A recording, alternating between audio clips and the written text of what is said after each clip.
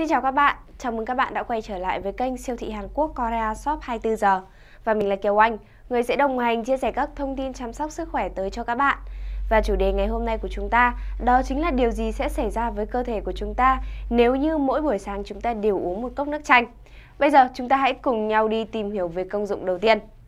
Đầu tiên đó chính là nếu như mỗi buổi sáng bạn uống một cốc nước chanh thì cơ thể của bạn sẽ được cung cấp đầy đủ các chất điện giải, đồng thời là cũng như được cung cấp nước đầy đủ. Bởi trong chanh thì chứa nhiều chất điện giải như kali, magie hay là kẽm.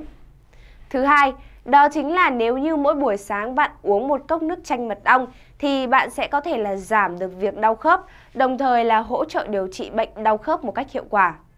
Thứ ba, nước ấm với chanh giúp hỗ trợ tiêu hóa, vì chanh có chứa axit citric, nó tương tác với các enzyme và axit khác, dễ dàng kích thích sự bài tiết của dịch dạ dày và tiêu hóa. Thứ tư, nước chanh kích thích gan sản xuất nhiều enzyme hơn so với bất kỳ loại thực phẩm nào. Thứ năm, nước chanh mật ong giúp rửa sạch gan, đồng thời kích thích gan giải phóng độc tố. Thứ sáu, nước chanh mật ong giúp chống nhiễm trùng đường hô hấp, viêm họng và viêm amidan. Điều này do đặc tính chống viêm của chanh và mật ong. Thứ bảy, nước ấm với chanh giúp điều hòa nhu động ruột tự nhiên. Trong khi đó, mật ong giúp điều hòa việc tiết axit dạ dày, giúp cho quá trình tiêu hóa diễn ra tốt hơn. Thứ 8, nước chanh và mật ong vô cùng tốt cho việc trao đổi chất, bởi vì chanh và mật ong thì vốn đã, đã được biết đến là một trong những chất chống oxy hóa vô cùng mạnh mẽ. Đồng thời khi sử dụng nước chanh và mật ong vô vào mỗi buổi sáng thì nó sẽ giúp cho cơ thể của chúng ta loại bỏ được các gốc tự do, đồng thời là ngăn ngừa được nhiều căn bệnh nguy hiểm chẳng hạn như là ung thư. Thứ 9, nước với chanh hỗ trợ sự hoạt động của hệ thống thần kinh vì chanh có hàm lượng kali cao. Trầm cảm và lo âu thường là kết quả của lượng kali thấp trong máu. Hệ thần kinh là một lượng kali đủ để đảm bảo tín hiệu bền vững cho tim.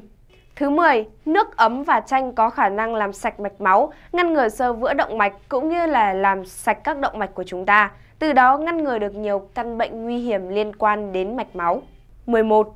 Nước chanh có thể giúp hạ huyết áp, Tiêu thụ hàng ngày một quả chanh có thể giảm huyết áp cao 10%. Mật ong cũng được xem là loại thực phẩm giúp giảm huyết áp rất hiệu quả. 12.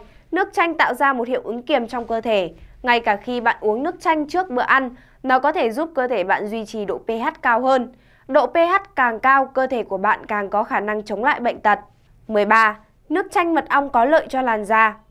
Vitamin C trong chanh cải thiện làn da của chúng ta bằng cách làm trẻ hóa cơ thể. Mật ong cũng giúp cung cấp độ ẩm và làm da đàn hồi sáng mịn hơn. Uống nước chanh mật ong thường xuyên vào mỗi buổi sáng sẽ cải thiện tình trạng da của bạn. 14. Nước chanh giúp pha loãng các axit uric, một trong những nguyên nhân dẫn đến các bệnh về khớp hay là đau khớp. 15. Nước chanh mật ong có lợi cho phụ nữ mang thai. Vì chanh giàu vitamin C, nó hoạt động như một adaptogen, giúp cơ thể đối phó với virus như cảm lạnh. Hơn nữa, Vitamin C giúp hình thành mô xương của thai nhi, đồng thời do hàm lượng kali cao, hỗn hợp nước chanh giúp hình thành các tế bào não và hệ thần kinh của em bé. 16. Pha nước chanh cùng với nước ấm uống vào mỗi buổi sáng sẽ giúp giảm tình trạng hôi miệng, đồng thời làm giảm thiểu tình trạng ợ hơi, ợ nóng. 17. Nước chanh giúp đánh tan các loại sỏi như sỏi thận, sỏi mật, sỏi canxi hay sỏi tuyến tụy. 18.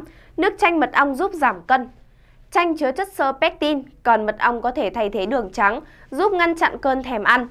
19. Nước chanh mật ong giúp kháng viêm, giảm viêm nếu răng, đồng thời hỗ trợ các vấn đề về răng miệng của chúng ta.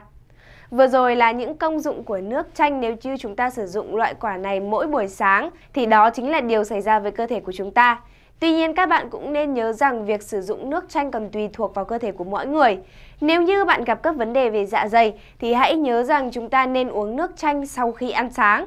Và quan trọng, đối với nước chanh mật ong hay bất kỳ nước chanh muối hay là chanh nước ấm nào thì điều tốt nhất đó chính là chúng ta hãy sử dụng sau bữa ăn sáng để tránh dẫn đến các vấn đề về dạ dày của chúng ta.